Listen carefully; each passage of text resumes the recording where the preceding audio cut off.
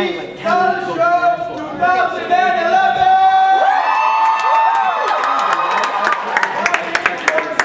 And I'm Soni Jinza. Custom. And there we go! There we go, there we go. Mics are finally working. So, 2011, a major year. A major, major year for our country, for our school, and for our social life.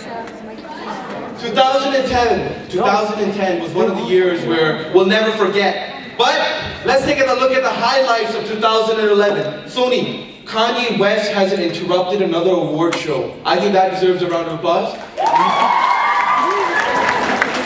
Charlie Sheen for becoming a better man, or as he said, the winner. Oh, she was amazing. The Leafs were so close to making it to the playoffs.